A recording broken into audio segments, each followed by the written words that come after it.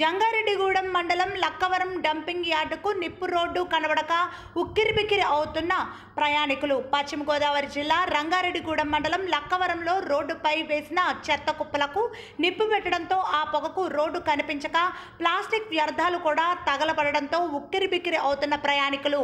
అక్కడే ప్రమాదకరంగా ఉన్న వెదుళ్ళవాగు బ్రిడ్జి ఈ పొగకు వాహనాలు కనిపించకపోవడంతో ప్రమాదాలు జరిగే అవకాశం ఉంది. అధికారులు తక్షణమే స్పందించి మంటలను అదుపు చేయాలని ప్రయాణికులు కోరుతున్నారు.